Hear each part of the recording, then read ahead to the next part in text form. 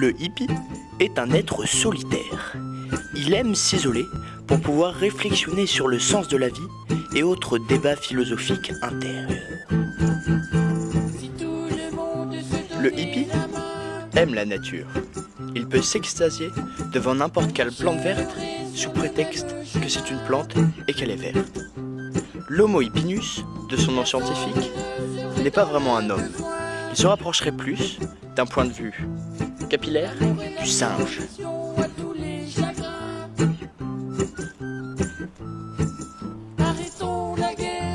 Ta gueule, hippie de merde Tu nous fais avec ton reggae Ta gueule, hippie de merde. Va te droguer dans la forêt. Ta gueule, hippie de merde. Ta gueule, hippie de merde